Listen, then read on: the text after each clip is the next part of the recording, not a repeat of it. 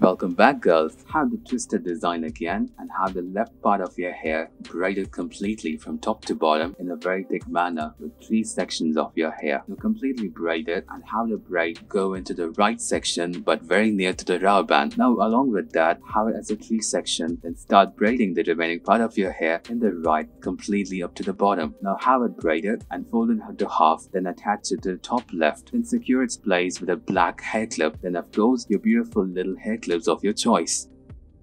Go for the twisted pattern again and grab a rubber band and tie it in the middle of your hair. Now with the remaining part of your hair, comb it a bit down and move it upwards and tie a rubber band in the top part. Then securing that with the last loop. Then attach it to the first loop we created. Then secure the whole place with a hair clip horizontally and vertically attaching it. Then stretch it out creating a volume have the pair of bunches and the left one start braiding it all over with two parts in a thick manner, leaving the V shape at the end. Then secure it whole at the end of your hair. Now do the same to the right side, start braiding it into a thick manner and of course leave the V design at the end, it's very important. Then tie it with a rubber band. Then have the right one move into the left loop and completely stuff it inside and have it attached. Now stuff the remaining part of your hair inside the bun and secure it with a black hair clip on the right. Then on the left do the same. Then adjust it, create some volume and have the beautiful hair clips of your choice as well have that ponytail again and have a rubber band in the middle part of your hair. Then have a little loop in the top and move the entire hair in that making it as a twist. Then have one more rubber band in the remaining part of your hair. Then create a loop in the first rubber band we had and stuff it inside of it. Then press it a bit down and stuff the remaining hair into that forming a bun. Then secure it, hold it in place by using a little hair clip. Then of course, what else? Your beautiful hair clips of your choice once after you create the volume by stretching them out.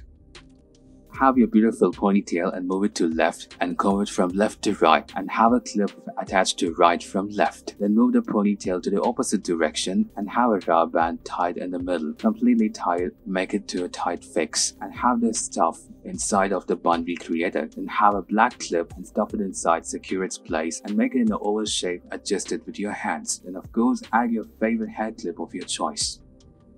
Grab the sides of your hair and tie it in the middle and with that create a loop and drop it inside making a twist. Drop it even more further to the first loop forming a heart shape. Then divide the remaining hair into two sections and the left section of your hair have three parts and start braiding it all over from top middle part to the bottom middle part. Then pinch the hair at the sides making it as a loop. and secure the end with a rubber band and comb it a bit down. Then move on to the right section of your hair. Start with the middle part and start braiding it all over from top to bottom but leave the tips. Then pinch the sides, making it as a loop and secure the end with a rubber band and comb it a bit down. Fold the left section of your hair and move it to the top right, secure it with a black clip and fold the right section of your hair, move it to the left and secure it with a similar clip. Now add some extra design by moving it a bit further and add your hair clips of your choice. Thank you girls.